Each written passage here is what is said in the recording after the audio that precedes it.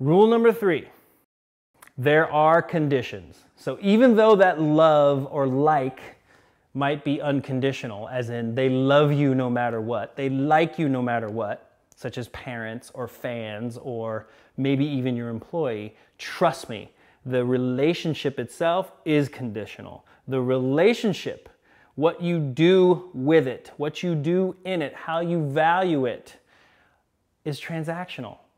And even though that person may like you or love you no matter what, it doesn't mean that you can't misstep.